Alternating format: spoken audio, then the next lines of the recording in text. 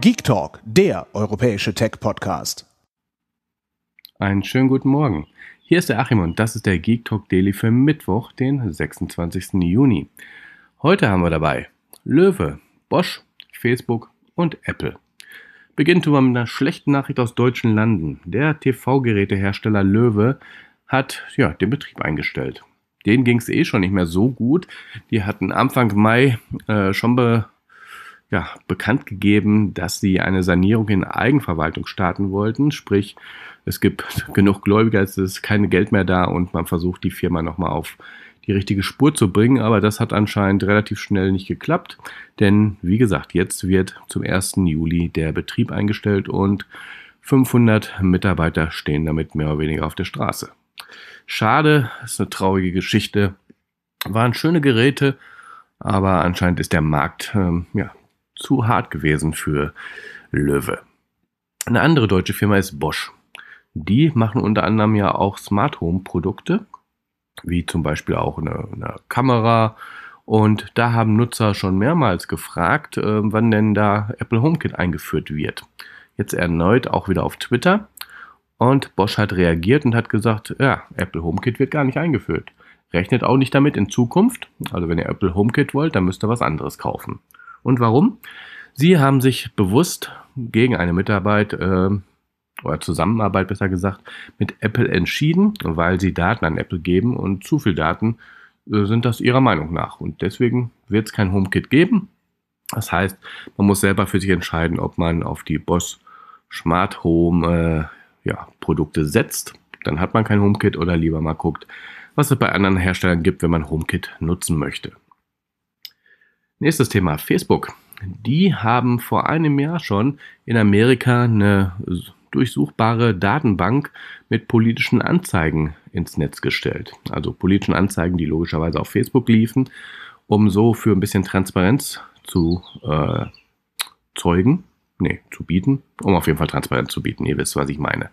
Ja, und dieses Archiv wird jetzt auch weltweit ausgerollt, zusammen mit ein paar anderen Tools, alle rund um das Thema politische Anzeigen auf Facebook die die Meinung der Bürger äh, eventuell beeinflussen und steuern könnten.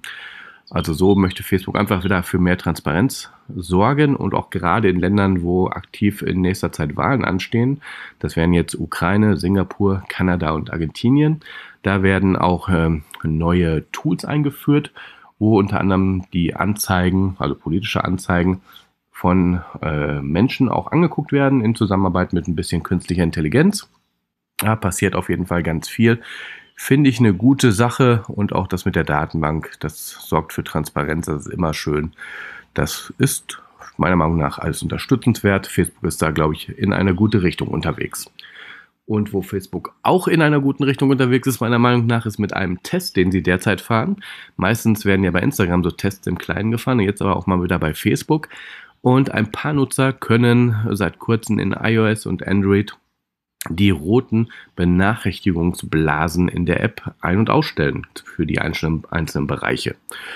Ja, also wenn zum Beispiel im Marketplace, den ich gar nicht nutze, so ein kleiner roter Button äh, oder kleine rote Bubble oben ist, die mich irgendwie äh, ja, aufmerksam machen soll, dass da was äh, passiert ist, interessant sein könnte, muss ich das ignorieren, weil ich Marketplace gar nicht nutze. Und ähm, auch in Gruppen möchte ich nicht ständig benachrichtigt werden, wenn da was Neues passiert, weil das passiert eigentlich die ganze Zeit. Und in dem aktuellen Test hat man die Möglichkeit, für jeden Bereich einzeln mit dem Schieberegler diese kleine Benachrichtigungsblase auszuschalten. Und das finde ich wirklich gut und hoffe, die Funktion wird auch bald für alle eingeführt. Und letztes Thema für heute ist Apple. Die haben ja mit Project Titan äh, auch ein Autoprojekt in, intern am Laufen.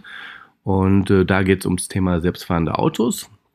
Und darin haben sie sich jetzt verstärkt, denn sie haben das StartupDrive.ai gekauft. Denen ging es nicht mehr so gut. Die hatten kaum noch Geld und äh, waren kurz davor, den Laden dicht zu machen. Und wie gesagt, Apple hat jetzt äh, die Firma gekauft, wird trotzdem 90 Mitarbeiter entlassen. Die anderen werden dann zu Apple eingegliedert und sie haben natürlich wieder Technologie und Wissen äh, gekauft für ihr Project Titan, wo keiner so richtig weiß, wo dort die Reise hingeht. Gerüchte gibt es genug und Infos von Apple gibt es wie üblich eher weniger. Da müssen wir mal gucken. Auf jeden Fall scheint auf jeden Fall Project Titan immer noch am Leben zu sein. Intern, sonst hätten sie ja das Startup nicht gekauft. Ja, und das war's auch schon für heute. Ich wünsche euch einen tollen Mittwoch. Ähm, hoffe, wir hören uns morgen wieder. Bleibt positiv. Bis dann. Ciao, ciao. Hört mehr Geek Talk.